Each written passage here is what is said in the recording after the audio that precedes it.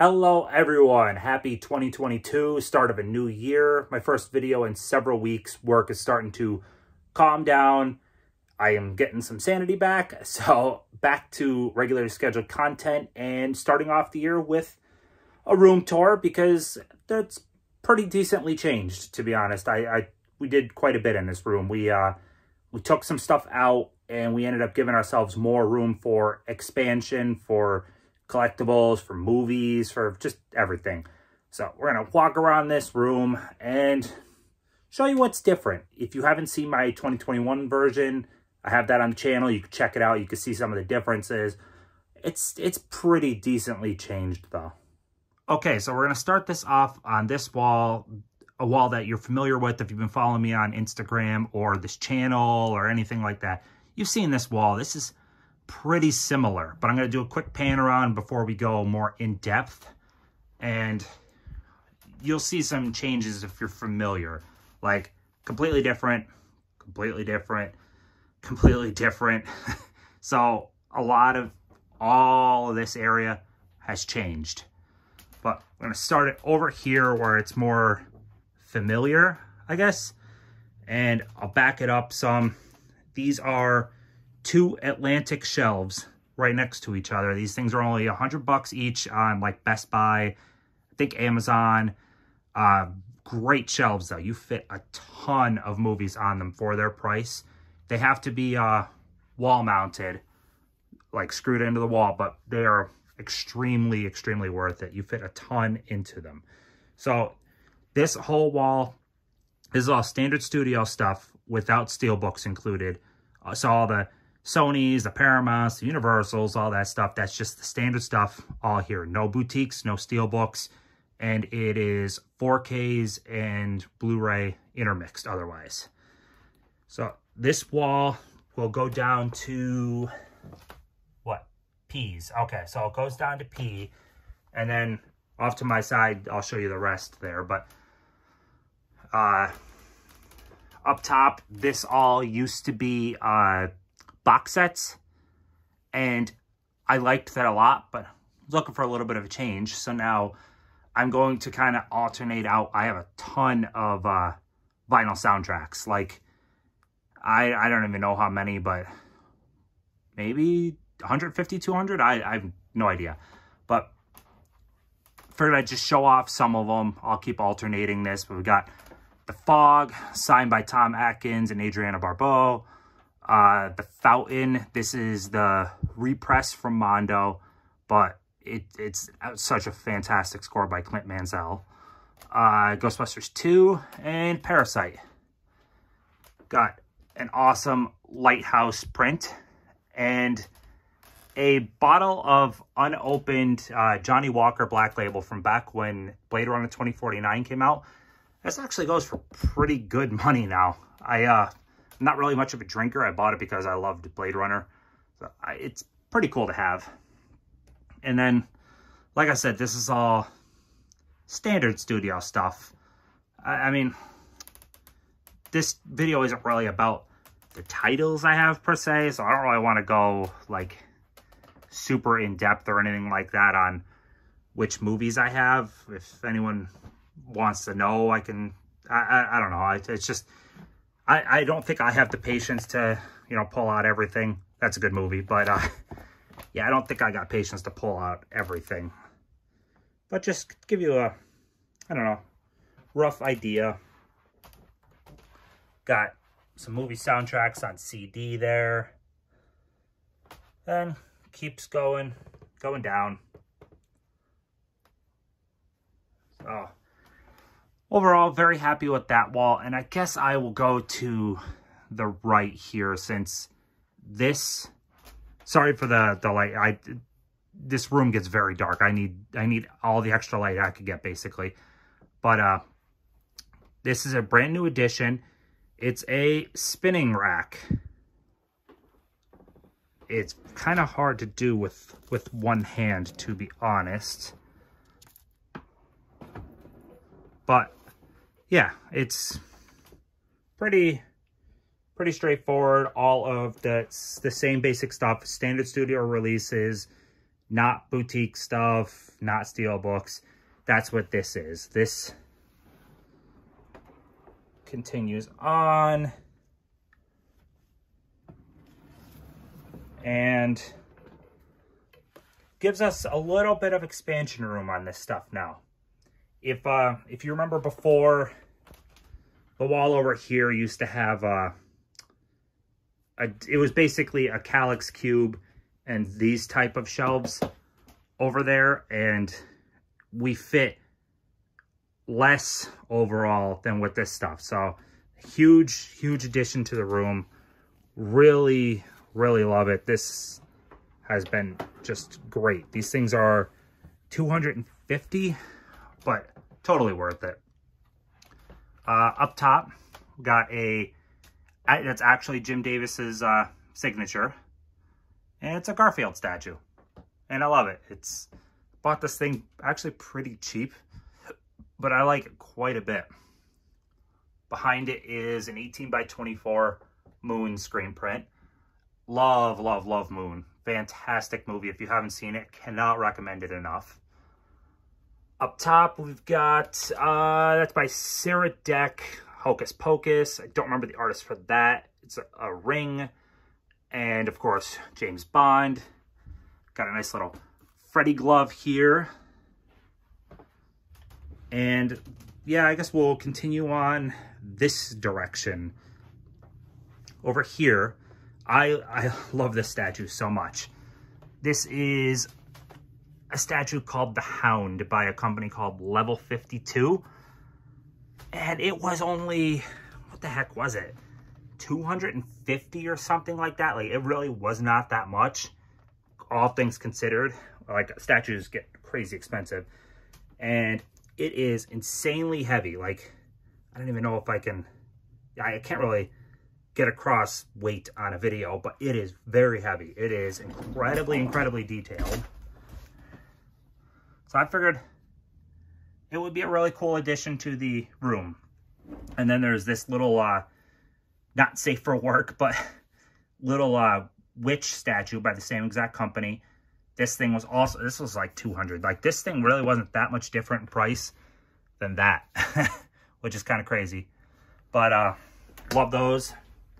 Then down below, got a pinhead, a golem, and some movie-related books. I collect a lot of movie-related books.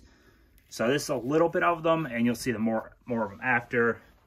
And then there is a uh, a little Sam protecting. He's a he had a bowl for candy, but I kind of like it more without the bowl.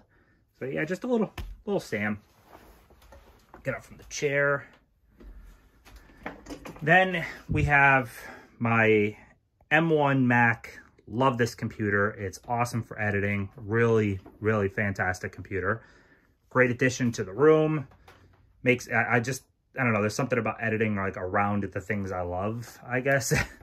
love it though.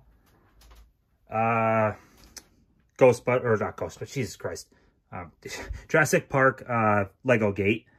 Love this. It used to be on a bookshelf over there and now sits proudly here. Time magazine with a wrong cover.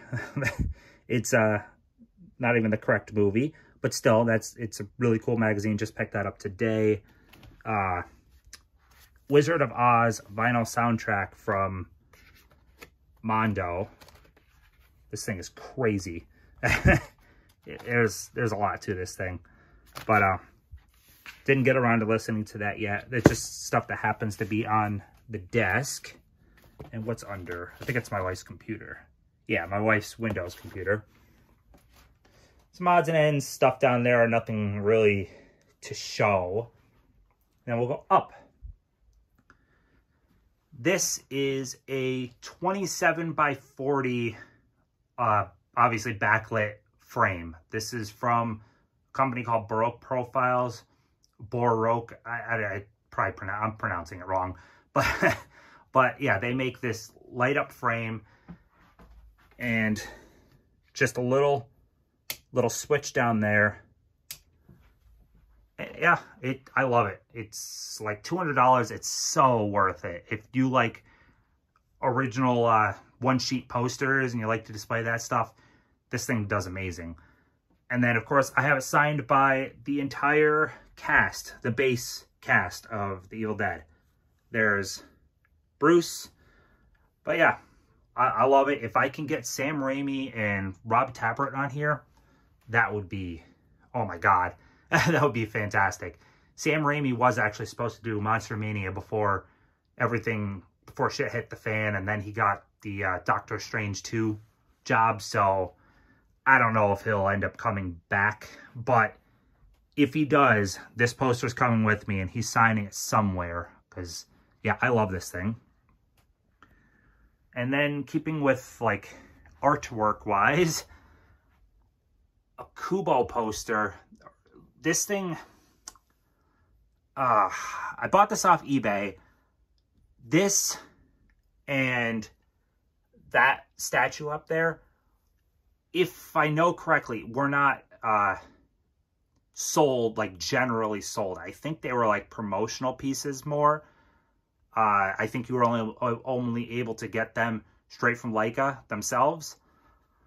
But yeah, it is uh, signed over there by Travis Knight. This is, it's fully, fully encased already. It's, it's, it's very nice. I, I don't think I spent all that much on them, both of them, but you don't see them anymore. Like they just do not pop up. I bought those like right after the movie came out. But we got Tom Atkins again. I told him to write Thrill Me, which he absolutely did. Love that.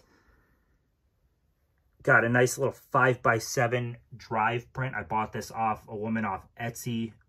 Gorgeous art. Love it. And then an 8x10 Grogu. That's by artist Rory Kurtz. He does awesome stuff. So I, I wanted to fill up the walls with tons of great stuff I like to look at. And then as we come over, we hit another spinner here. This spinner is 100% steel books. It's not full yet, but all we have in it is steel books. Probably, I, most of them are in these uh, really nice Malco protectors. Good good chunk of them are in. And whatever isn't, we, we got to get finished up at some point. But I think that this is something around like maybe 350 steel books maybe. And then it ends there, and then we have all that expansion room. That is tremendous having that much expansion room. Like, I am absolutely thrilled with that because, I mean, as, as you know, as a collector, room is very important, and having room is, oh my God, amazing. uh, up top, we've got, I just did a video on this a couple weeks ago, but a Beast Kingdom Scrooge McDuck. Love that. Behind it, we have a Mark Englert 12 by 36 uh, Spider-Gwen. This is based off the version of her in... Uh, oh, now my computer is talking. Dang it. That happens all the time. But, uh, yeah, this is based off her in Into the Spider-Verse. Really love that, especially bought the pink frame to go with it, and I think it looks awesome. Going down, we have a Captain America screen print, Nakatomi Plaza Blu-ray set, Harley Quinn, Deadpool pop, and Futurama ship. And it gotta tell the computer to stop because it's recording literally everything. Oh my gosh, I should have just shut this thing off. But yeah, uh, up top, got some box sets and different steel books and whatnot. Uh, I'm to pause this and come right back because I got to shut this computer off. Okay, back again. As much as I love my Mac, uh, this thing, I got to figure out how to turn off Siri on this. It should be really simple. I just haven't done it yet because Siri will randomly catch when I'm saying stuff and it's quite freaking annoying. But back to what I was, uh, what I was saying. Yeah, we got different steel books and different just types of sets up here. Then falls into a Venom statue from the company Gentle Giant. This thing is awesome. It's got two broken uh, claws, unfortunately. Uh, just, they broke over time. The, the kitten got one, and then we, we kind of broke the other ourselves. But still love it. It's awesome. Come down. I'm going to open this up to get away from some of the glare.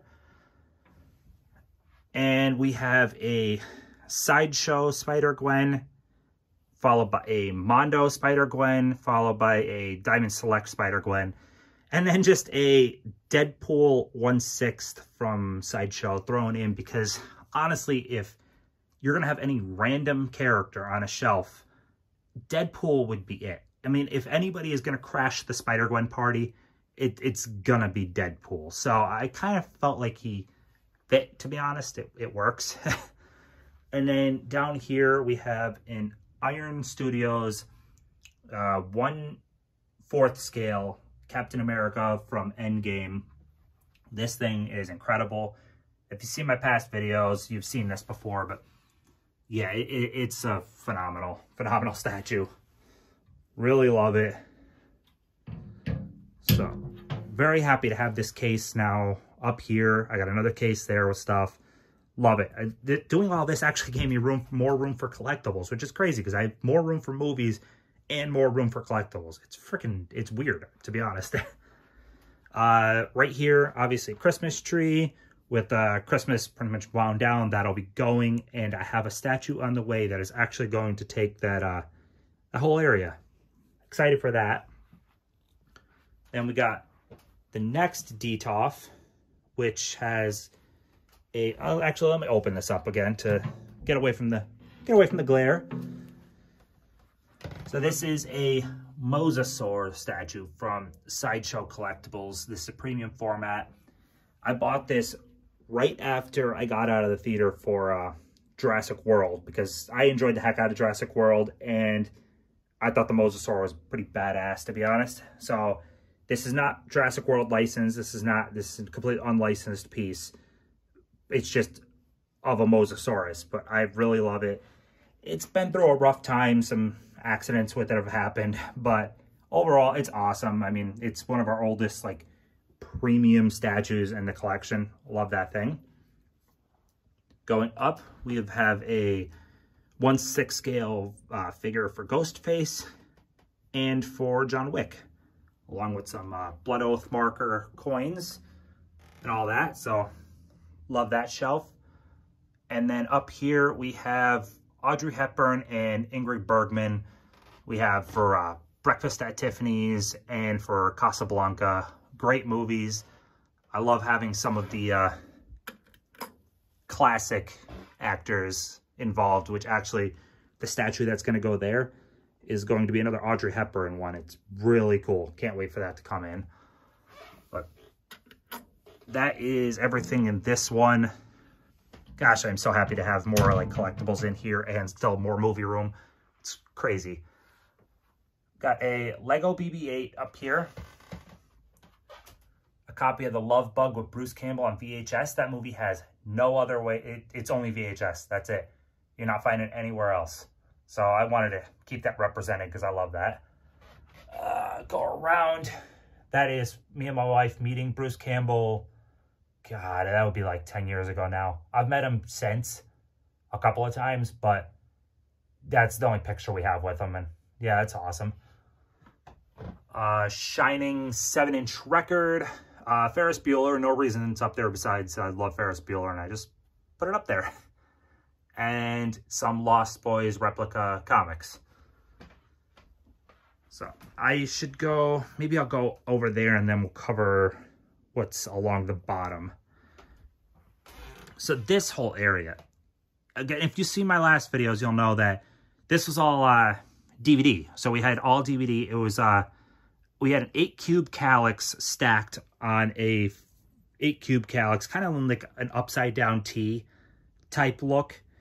And it worked, kind of. It, it, it kind of sucked, to be honest. But uh, got rid of that and got another one of these Atlantic shelves. And now all of the box sets that were along up there are now pretty much all spread around here. Some are displayed out, some are sideways. I kind of, I kind of like it. I think it works. And then we have all these collectibles and stuff. That's just to take up space until we fill it with movies. I mean, that's, I, I love, we have so much expansion room. It, all that space to expand, steelbook room still to expand, and that other spinner still to expand, and then still more to show. Uh, yeah, I love it. So this, otherwise, movie-wise, it is just Scream Factory and Shout, and then the box sets. So that's all of what this is. As we need to expand, we'll see what changes, what whatever, but yeah, I love, we have room. I mean, that's, that's the key. I mean, as a collector, that is the key. Uh, arm is stretched up pretty high here, but that's a picture of my old dog. She was amazing. Her name was Oreo. Loved that dog. And then some odds and ends stuff along the top. And then we come down and we have fantastic record. It, he redid all of his big hits from his movies, mostly the themes and everything. Really, really good. And signed by John Carpenter. In Evil Dead, a little 8x10. An 8x10 of uh, Stephen King. And a signed 8x10 of Hayden Panettiere, if I'm pronouncing her name correctly. She was super nice in person, though. Uh, some odds and ends down there every ver it's super dark down here, but every version of my movie room has had, that's the Twilight Zone uh, Nightmare at 20,000 Feet Gremlin from Sideshow, like super old. That thing is, that's old. that's really old school for them. I kind of, I hide him around my movie room in all my different versions of the movie room. He kind of just hides in different spots. I, I don't know. It's it's a thing I do with him. I, I don't know. It's like a, my own little personal tradition. I find somewhere to just stick him that's kind of, you could see, but he's kind of hidden. I don't know. But, uh, but, uh, so I showed that stuff. Little, uh, Harley Quinn from Batman the Animated Series. And then before we go to there, I will get down on the floor, which is going to hurt. I'm telling you, as I'm not even that old, and my bones and joints are, ugh, sore. But yeah, I collect movie-related books, uh, art books, history of stuff, stuff like that. And here is most, I guess. I mean, I have a couple more in the other room I got to bring out. And then that other shelf I showed. But this is a lot of them. I was thinking about doing a video on like going more in depth with them but I love these things. You, you learn so much from from books like this that you don't even find in the special features, if there are even special features for the movie. Like, you'll find way more information out. And I'm going to bring this one out just because it's really cool. I picked this. So Rogue One is by far my favorite Star Wars that Disney is, anything Star Wars that Disney has done. I love this movie. Heck, it's one of my favorite of the entire franchise. But signed by a bunch of people involved, including Gareth Edwards, the director. Very cool. Really love that. Got that on like Think Geek several years ago. It was in like the sales section too. so this wall now, pure TV shows. This is, this will be, steelbooks are included in here and Blu-ray and DVD are mixed but that's just because we're just kind of condensed it. This is just TV shows and TV show related. We have a lot. We really enjoy TV shows. Uh, got so many great shows. Loved Buffy. Uh, Monk is an amazing show. Tales from the Crypt is amazing. Parks and Rec is hysterical. Uh, Warehouse 13, not talked about too much. Twilight Zone, probably like one of the greatest shows of all time. Uh, X-Files, love that show. Bewitched is great. Simpsons is classic. Psych is great. I mean, some awesome stuff. We just got this in. We imported it. Malcolm in the Middle, seasons 1 through 7. You can't get that in the United States. So very happy with all that. Up top, we have Hogwarts Express and just some other odds and ends collectibles. The gun is from uh, Firefly. Just different odds and ends stuff. And come around to here. A Jurassic Park screen print by uh, Phantom City Creative is who did it. It's really cool because it's like the silhouette of uh, a T-Rex, obviously, but with the foliage and you see, you know, there's a, a raptor. It, it's, I love that print. I have, if you haven't seen, I have another video showing off like all my screen prints. I have a ton of these things. These are, this is not like some poster you would find at like Walmart or Target or something like that. These are, it's on like thick paper stock and it's actually, this is actual paint underneath on the poster itself. It's actually layers of paint. Uh, these things cost like 65, 75, 85. It depends on what, which, uh, what they are, what, what went into them, what artists and stuff like that. But yeah, they're not cheap. I've got a ton of them. A uh, bunch of odds and ends Disney collectibles here. This used to be Disney, all just Disney related, uh, DVD and Blu-ray. That stuff is shifted out into uh, the middle of the room. And this is going to be like our new pickups shelf until we sort the stuff into the rest of the collection. It goes in here. So this is just some of the brand new stuff. I'm going to be doing a video on that stuff. So let's not, let's not look at that. and then end the outer walls with a Night of the Hunter screen print. Uh, a couple of the sisters from Charmed met them both A little 8x8 of Portrait of a Lady on Fire. Amazing movie. And yeah, that finishes up the outside walls. And uh, But I still have the middle because I'm pretty happy with, like, I don't see a whole lot of movie rooms that do stuff with, like, the middle of the room. But we kind of made it work. I, I, I like it. So we have these shelves back to back. We added that one there uh, long top. Just added some Power Rangers PCS, uh, like, plastic st statues. You can get these at like GameStop, but they look cool. And here is where all of our boutique stuff besides uh, Scream and Shout will be.